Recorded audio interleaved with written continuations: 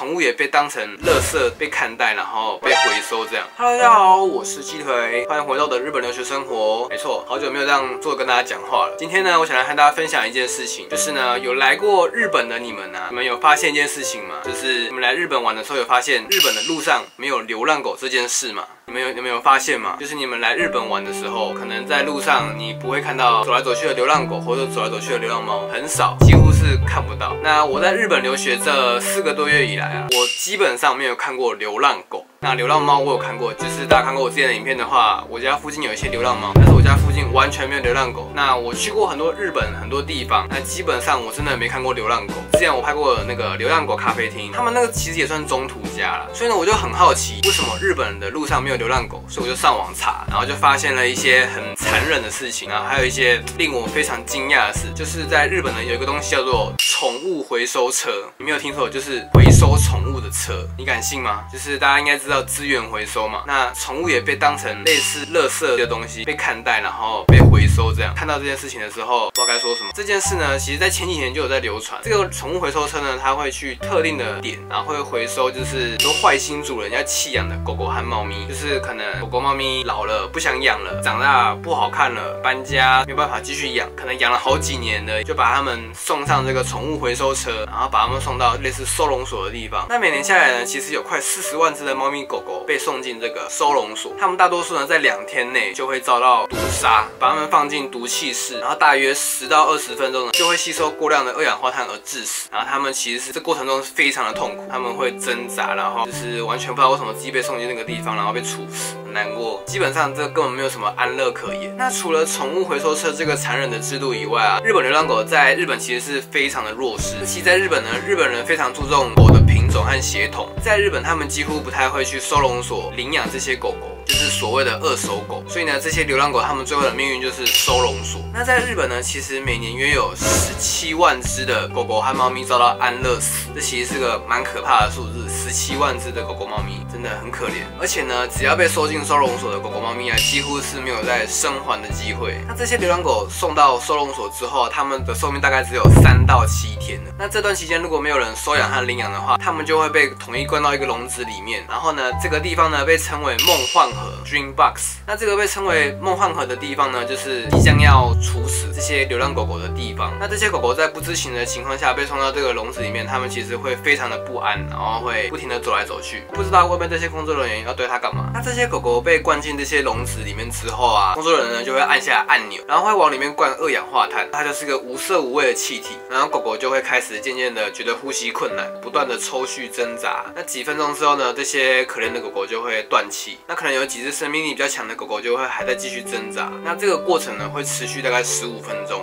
那在确认狗狗全部都气绝之后呢，他们会把这些狗狗的尸体呢推到火化的地方，最后他们就是这样被火化掉。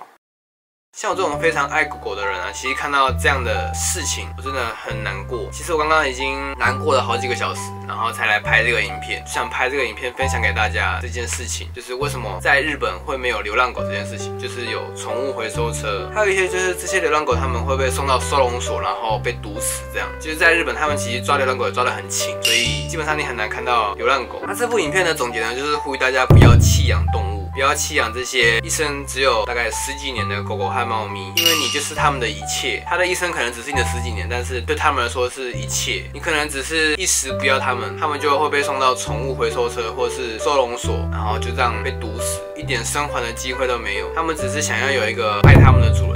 好啦，那这影片差不多到这边啦。今天就想来和大家说一下。好啦，那影片差不多到这边啦。如果喜欢我的影片，记得订阅我的 YouTube 频道。喜欢记得按赞、留言、分享。有空的话可以去我 IG 按个赞哦。好了，那我记得我们下次影片见，拜拜。哎。